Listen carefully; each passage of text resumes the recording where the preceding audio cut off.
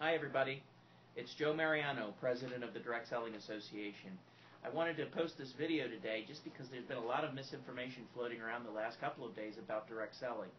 I want you to know if you need information about legitimate direct selling companies, always look for the DSA logo and come to the DSA website, www.dsa.org, to find out who's a member of the Direct Selling Association. Our companies aren't pyramid schemes, they're not frauds, they're legitimate companies selling legitimate product to real users. You can get involved as a customer, as a seller, or maybe as both. But always recognize that there are protections that our DSA, Direct Selling Association Code of Ethics, extends to you as both a customer and as a seller of our products.